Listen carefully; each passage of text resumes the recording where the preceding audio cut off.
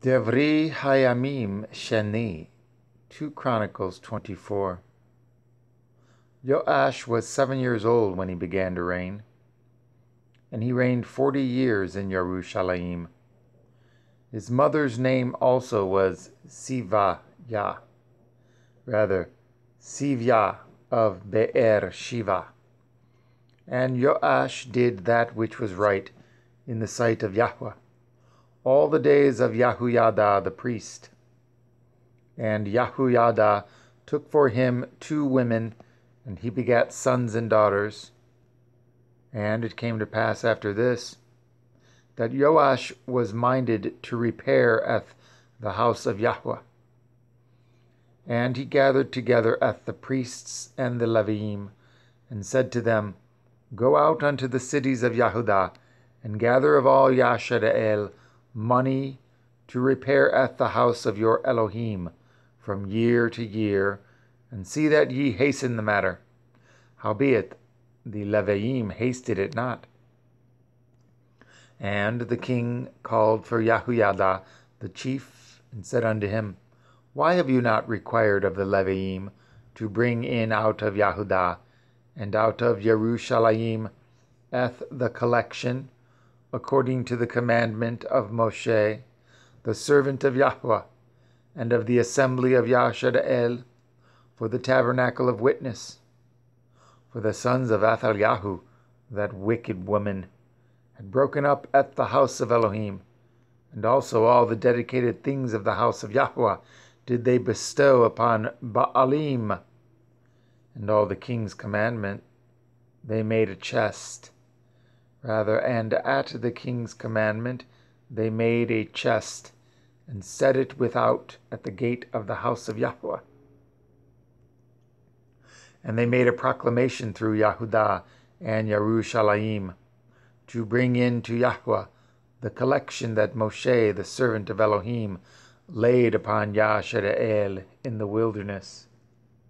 And all the princes and all the people rejoiced and brought in and cast into the chest until they had made an end.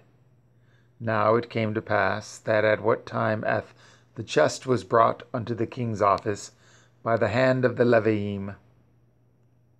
And when they saw that there was much money, the king's scribe and the high priest's officer came and emptied at the chest and took it and carried it to his place again. Thus they did day by day and gathered money in abundance. And the king and Yahuyada gave it to such as did the work of the service of the house of Yahweh, and hired masons and carpenters to repair at the house of Yahweh, and also such as wrought iron and brass to mend the house of Yahweh. So the workmen wrought, and the work was perfected by them. They set at the house of Elohim in his state, and strengthened it. And when they had finished it, they brought the rest of the money before the king and Yahuyada, eth whereof were made vessels for the house of Yahweh, even vessels to minister, and to offer withal, and spoons, and vessels of gold and silver. And they offered burnt offerings in the house of Yahweh continually all the days of Yahuyada. But Yahuyada waxed old and was full of days when he died. A hundred and thirty years old was he when he died. And they buried him in the city of David among the kings, because he had done good in Yashar'el, both toward Elohim and toward his house.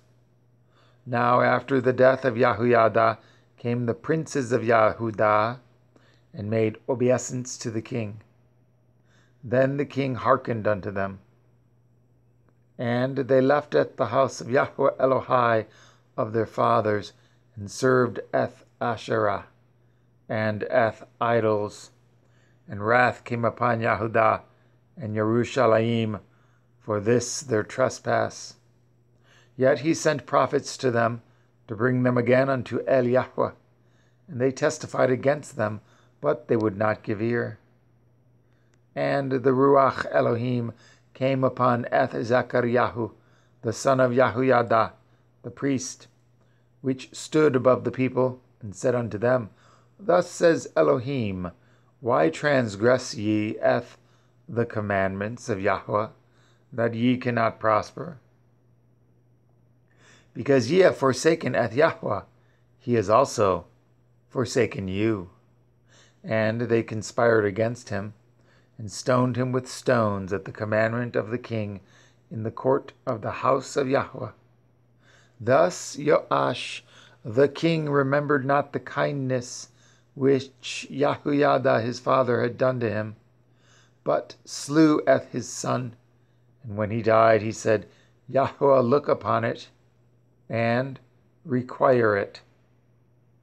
And it came to pass at the end of the year that the hosts of Aram came up against him, and they came to El Yahudah and Jerusalem, and destroyed all the princes of the people from among the people, and sent all the spoil of them unto the king of Damascus.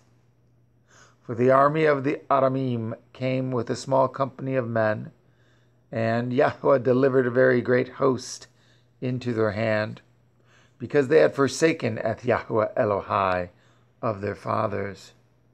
So they executed judgment against, against Eth Joash, and when they were departed from him, for they left him in great diseases, his own servants conspired against him for the blood of the sons of Yahuyada, the priest, and slew him on his bed, and he died and they buried him in the city of David.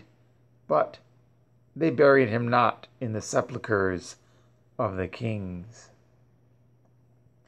And these are they that conspired against him Zavad, the son of Shimath, in Ammonith, and Yahuzavad, the son of Shimrith, a Moavi, now concerning his sons, and the greatness of the burdens laid upon him, and the repairing of the house of Elohim, behold, they are written in the story of the Sefer of the kings. And Amatzyahu, his son, reigned in his stead.